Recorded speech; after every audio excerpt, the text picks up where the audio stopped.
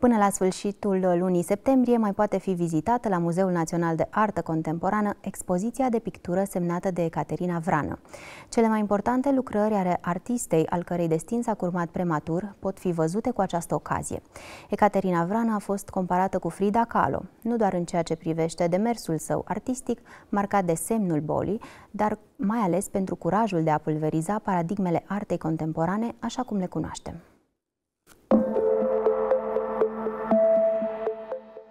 O expoziție despre Ecaterina Vrană este întotdeauna un eveniment. Indigo este cea mai recentă propunere a curatoarei Simona Vilău. Astfel, la Muzeul Național de Artă Contemporană, împreună cu o echipă interdisciplinară, a fost pus la punct un eveniment de anvergură, nucleul dur al actualului sezon expozițional.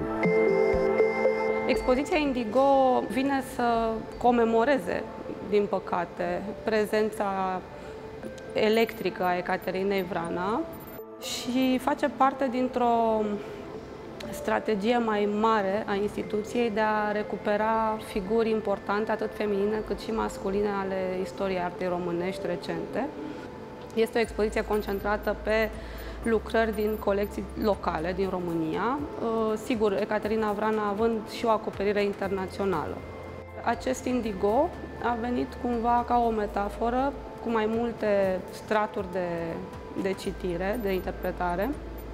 Uh, primul ar fi acela al simbolului cromatic. Practic, indigo este o culoare din spectru care nu se regăsește ca atare pe paletă și um, l-am folosit uh, ca pe un um, termen potrivit acestei dispariții, dar o dispariție cu o amprentă foarte clară.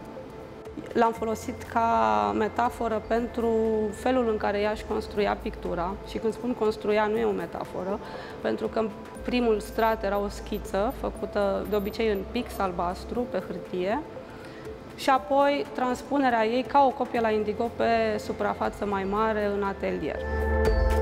Pentru că cele mai multe lucrări ale Ecaterinei Vrană se află în colecții private, expoziția de la MNAC constituie o ocazie rară de a fi văzute la un loc. În expoziție avem uh, în jur de 150 de lucrări. În marea lor majoritate, lucrările sunt împrumutate din colecții private.